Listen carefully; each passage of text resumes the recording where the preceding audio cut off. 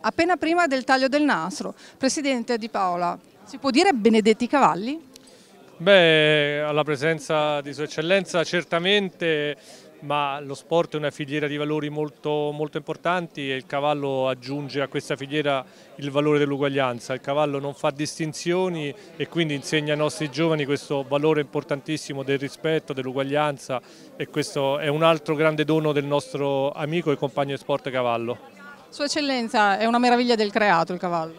Esattamente, nella Bibbia sono centinaia le citazioni che riguardano i cavalli come del resto gli animali, a riprova del fatto che la Bibbia è popolata di uomini, donne ma anche animali, piante, c'è un equilibrio armonico in tutta la creazione e certamente il rapporto col cavallo è uno di quelli importanti. Che ci insegna tanto. Vi ringrazio tanto e vi lascio alla cerimonia. Grazie. Grazie a voi.